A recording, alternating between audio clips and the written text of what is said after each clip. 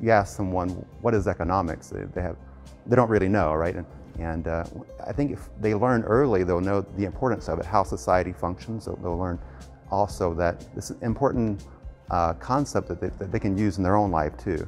E economics, it applies to uh, every individual's life at every stage of life. So that's the whole essence of uh, having them learn uh, economics at, a, at an early age. We actually have a module they can use with content, text, but also some assignments too. So uh, there'll be a couple activities and, and, and some easy uh, material that they can just take literally and uh, just, just use it, right? So um, they don't have to do a lot of their own creation. They can of course add stuff and, and make it their own style, but, but it's right there for them. So they can use this example, which we think is an engaging example, um, and uh, hopefully get the students interested about economics. These are easy examples that a first grader can get or, or a college student as well.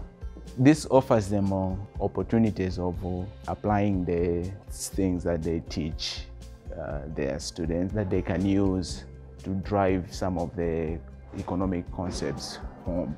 Whether, whether you're talking about uh, po politics, government, or sociology, or, or, or education, almost anything where you could, you could bring in economic concepts and because it's really part of your everyday life right? When you think about trade-offs and and uh, uh, scarcity and, and and choices in life these are all economic decisions. Everything you do involves a cost and a benefit. And and if you if you kind of provide someone, especially starting young, the, the framework to think about these issues, they'll carry that on through the whole life.